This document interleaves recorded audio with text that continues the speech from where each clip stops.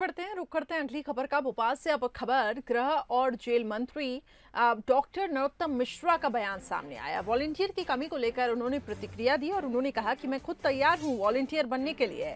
हम लोग आगे बढ़ेंगे तो दूसरे लोग भी आगे आएँगे। सुनिए और क्या कुछ उन्होंने कहा। तैयार हूँ वॉल्टियर बनने के लिए।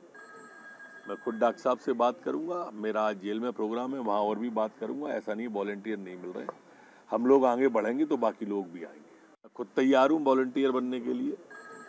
मैं खुद डॉक्टर साहब से बात करूँगा, मेरा आज जेल में प्रोग्राम है, वहाँ और भी बात करूँगा, ऐसा नहीं वॉल्टियर नहीं मिल रहे।